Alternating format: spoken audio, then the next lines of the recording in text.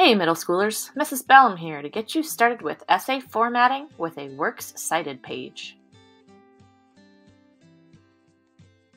You likely will already have your Google Doc created for you in Schoology, but if you need to create your own document, you can do so in Google Drive. Make sure that you name your document using capital letters for the title. Once you have a name, you are going to click inside the text and then select the font. Uh, standard is Times New Roman, size 12, and set the spacing to double.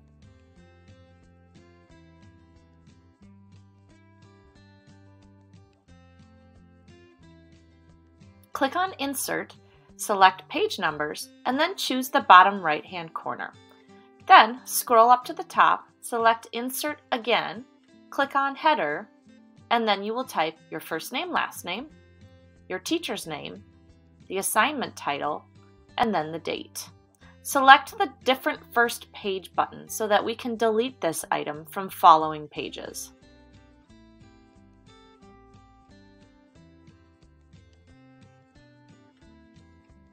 To format the margins, click File and scroll to Page Setup. If not already set to 1 inch, please type over all of the margins and then click OK. Next, we are going to center for our title. Type your title, making sure it's capitalized, and then click Enter a few times. Then go back to the alignment and select Left Alignment. Click Tab to indent your first sentence.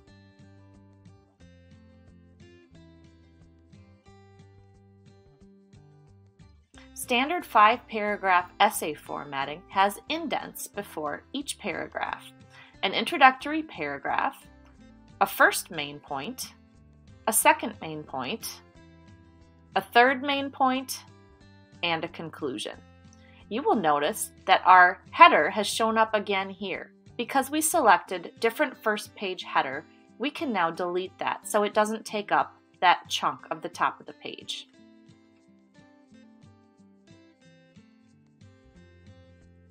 Once you finish writing your paper, you will click Enter until you get to the top of a fresh page. Then you will click Tools, Citations, and Add Citation Source. Select Website and type in google.com just to help create the page. Click Continue until you get to the Insert Works Cited page, and you will now have a template to work with as you insert your citations from other sources.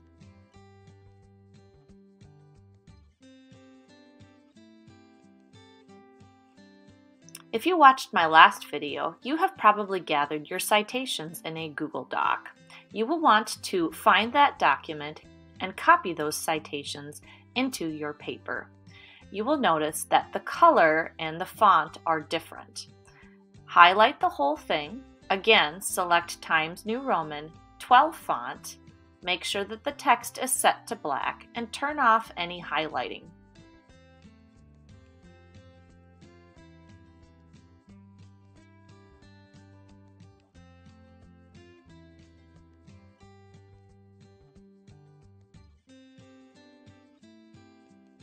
To cite a print book, hit Enter, click Tools and Citations. Add citation source, select Book, Print, and then paste in the ISBN. You should be able to search it and continue clicking Enter until your citation is added. This may duplicate some of the information that has already been added, so feel free to delete anything that you don't need.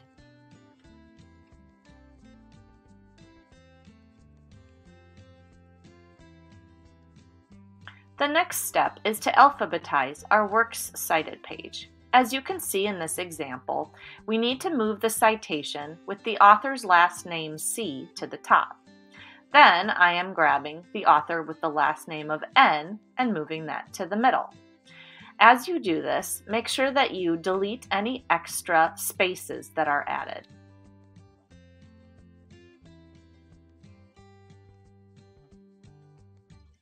To format the hanging indent of your citations, scroll to the second line of a citation, hit Enter, and then Tab over. When you do this, this will make the author's last name stick out, creating the hanging indent.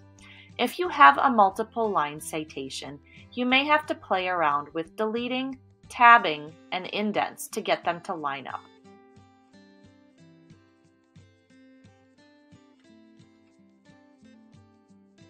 Double check your spelling and grammar by clicking on Tools and then click Spelling and Grammar Check.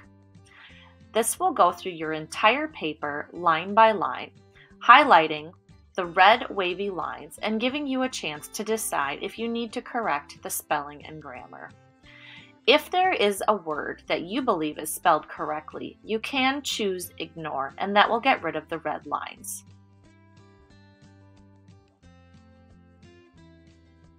Thanks for watching. Don't forget to submit your final paper, to turn it in, or to the Schoology assignment per your teacher's directions.